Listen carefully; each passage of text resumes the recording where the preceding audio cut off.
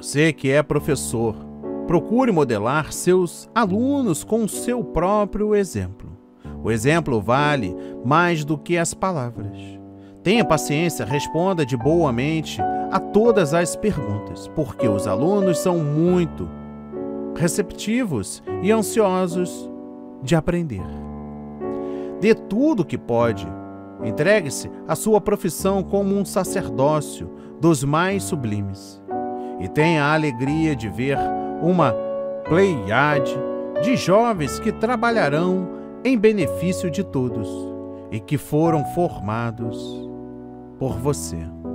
Em Provérbios, capítulo 14, versículo 29, a palavra diz: Longâmino é grande em entendimento, mas o de ânimo precipitado exalta a loucura.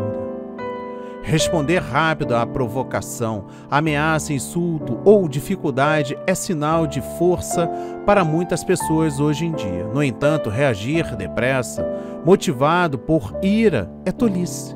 Isto raramente produz o efeito desejado a longo prazo e quase sempre complica os problemas que precisam ser resolvidos. Lidar com situações frustrantes é dolorosas, com paciência revela entendimento e geralmente produz melhores frutos a longo prazo. Receba esta palavra em nome de Jesus.